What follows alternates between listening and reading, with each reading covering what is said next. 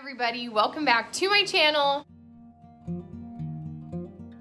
If you guys are new here, I'm Emily. I love macrame, thrifting, and of course, DIY projects. Today I have a DIY for you. It is two separate Christmas projects. First one is salt dough ornaments and I got this recipe and this idea from a blog called Domestically Blissful.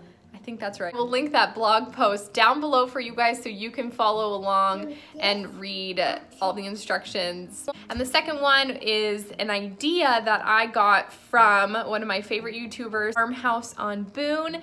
And last year, it might, I think it was last year, she did a thrifted sweater Christmas stocking. So I'm doing the same, only mine's gonna be a little bit easier because I'm going to be using hot glue.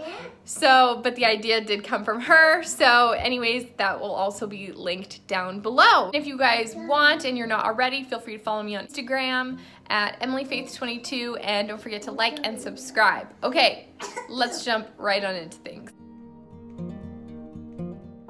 Is my sweater that I got thrifting. I got it last year and I never wore it because it is really itchy. So I actually had, if you guys follow me on Instagram, I tried to basically make this sweater unitchy. I did this whole process and it didn't work.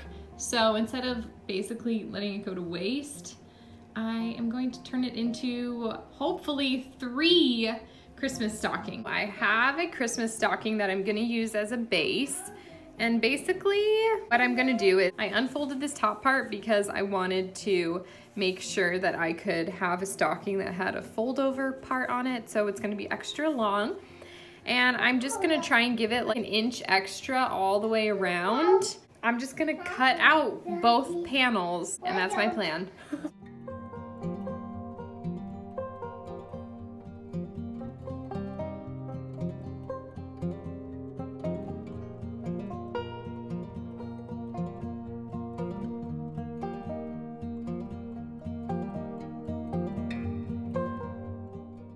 What I did next is I took my two pieces and this is the front and back and I basically flipped them over so that they're inside out.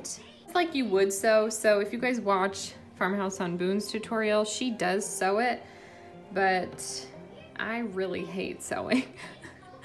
so I figured these probably will be decorative stockings. I don't think I'll actually use them, but it's giving me the look I want, so I'm happy with it. So basically I insided it out and then I'm going to hot glue and I am going to try and like slightly shape it. So you need to put the hot glue how you want the shape to fully be if there's any like odd spots. Obviously like this is really flat, so I'll try and like round it out a bit more right here. And also I'm gonna not hot glue at the very top because when I fold it inside out, then I'll finish the fold over, if that makes sense.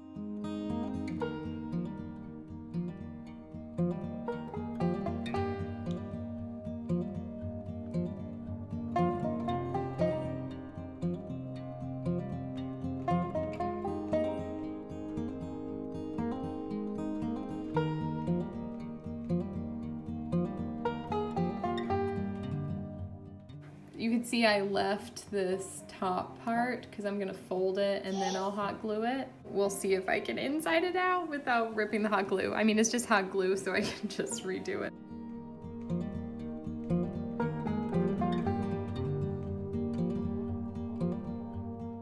There we go, spread it all out.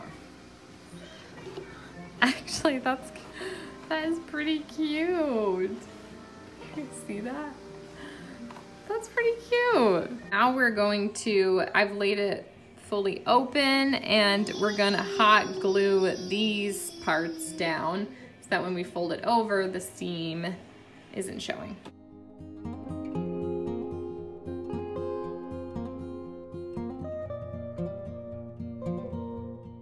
That is so cute. Okay, I cannot believe that worked as good as that did. I am also going to hot glue right on the edge and fold the seam down.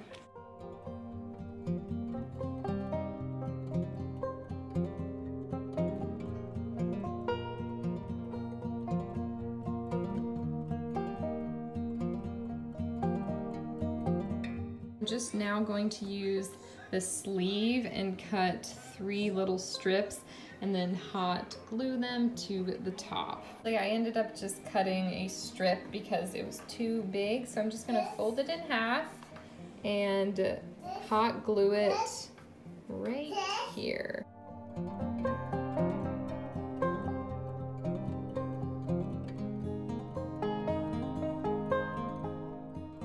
To make this, you're going to need two bowls of some kind, some measuring cups, cookie cutters, salt, flour, and white acrylic paint. The first step is to measure out one cup of flour and put it in a bowl which will have all of your dry ingredients. And then you're gonna measure out half a cup of salt and mix those two together. I am going to, again, link this blog post down below from Domestically Blissful. Stir those. This is a great time to have some your kids help or whoever. Next, in a wet ingredients bowl, you're going to have half a cup of water and 3 fourths a cup of acrylic white paint. I actually didn't have enough paint, but it worked out. Stir those together and then combine the two ingredients. Stir that and then gonna get your hands dirty and form a really nice salt dough ball. kind of feels like you're making cookies, only they're not edible. Next, use a roller, which I did not have. So, I mean, this is my makeshift roller. And you're supposed to use parchment paper, but again, I didn't have that. So, roll out some dough really thin and use your cookie cutters to cut out some really cute Christmassy shapes.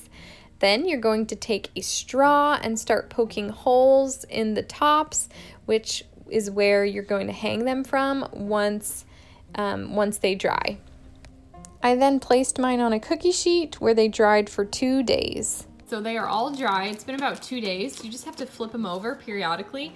And the one thing I learned is I should have lined my tray. Star. A star. Yes. I just didn't have any parchment paper, but now some of them have this like brown stain, which is such a bummer. I could paint them white to solve the problem, but I'm not sure how noticeable it will be hanging on a tree anyways. I think some of them are okay. I just picked up this twine and we're going to string them through to make the ornaments. Hope you guys enjoyed today's video. If you did, please give it a thumbs up. As always, you guys can subscribe. Again, for more of my everyday life, you guys can follow me on Instagram at EmilyFaith22. I hope you guys have a great day, and I will see you next time. Bye!